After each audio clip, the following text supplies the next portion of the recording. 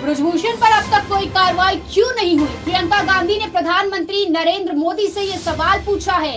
कांग्रेस महासचिव प्रियंका गांधी ने डब्ल्यू के चीफ ब्रजभूषण शरण सिंह, जो कि काफ़ी विवादों में है, काफ़ी सुर्खियों में है, ब्रजभूषण सिंह को लेकर बीजेपी सरकार पर प्रियंका ने हमला बोला है।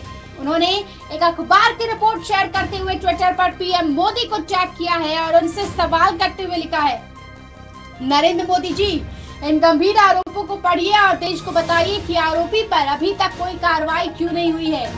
कांग्रेस महासचिव प्रियंका गांधी ने एक अखबार की रिपोर्ट शेयर की है, जिसमें ब्रजभूषण चरण सिंह के खिलाफ छेड़छाड़ और यौन उत्पीड़न के एक दो नहीं बल्कि दस मामलों का ज़िक्र है।